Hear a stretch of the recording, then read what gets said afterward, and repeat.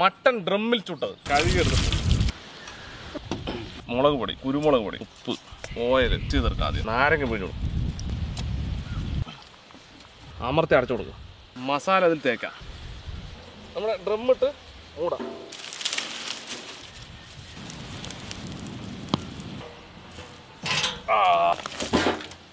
നമ്മുടെ ഒരു കേബേജിന്റെ പീസിൽ മുക്കി. ഇതൊരു മുളക് ചട്നിയാണ് നമ്മുടെ.